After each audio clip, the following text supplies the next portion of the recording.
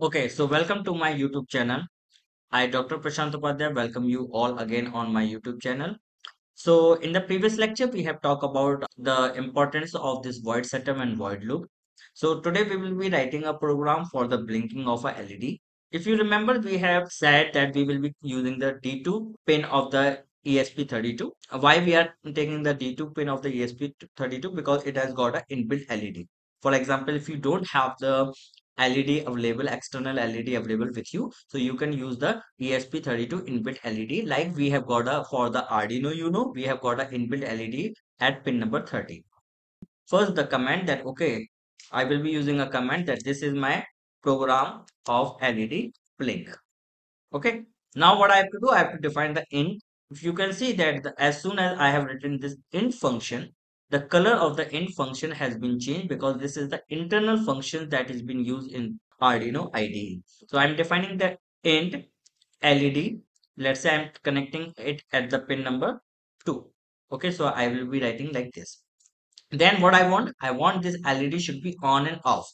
That is means how long the LED should be on and for how long the LED should be off. So we will be writing the wait time on and wait time off. So we will be using again the variable. Int wait time on equal to let's say 2000 and I'm saying int wait time off equal to 500 okay. So we have defined the int that LED equal to 2 that means I'm connecting my LED with the pin number 2 then for how long it should be on. So I'm saying it should be on for the 2000 and millisecond and then I'm saying wait time off. So I'm saying that it should be off for the 500 now what I have to do I have to find the void setup. So here I will be writing a pin and remember the M is the capital pin mode and and what is my pin? I am connecting at the LED pin number 2 so I will be writing the variable LED comma what I want I want it as a output. So I, void setup means here we have to define the code which has to be set up and it has to be runs only once. Okay so we have set up pin mode. That I am connecting my LED at the pin number 2 now come to the while loop. What here what we want? We want that okay LED should be on for the let's say 2000 millisecond and then it should be off for the 500 milliseconds so what we have to do? We have to use a digital write signal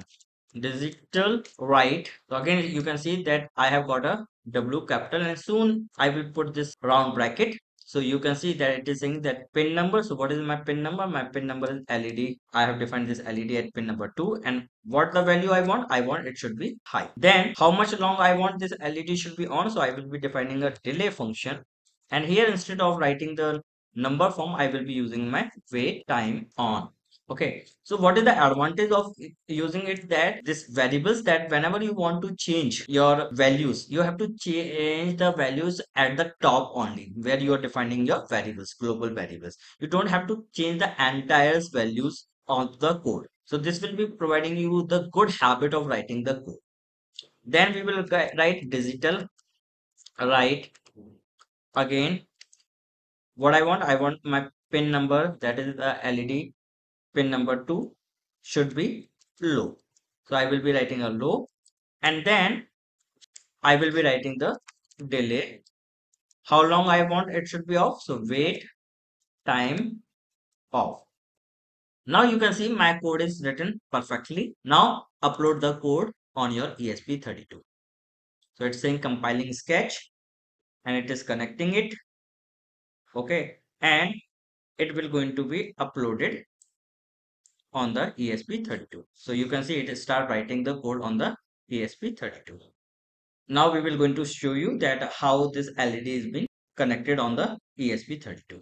So you can see that this is the program which we have uploaded on this ESP32 kit and uh, we have defined the LED2 so we have connected it to the D2 then we have connected a resistor and then we have connected the LED to it. So this is the complete program of a blinking of a LED and you can see the blue color LED also so that is the inbuilt LED that is been present in the ESP32 so suppose if you don't have the external LED available so you can use this one so thank you very much for watching my videos I hope you have understand the concept which is being used for the writing a program of ESP32. Thank you.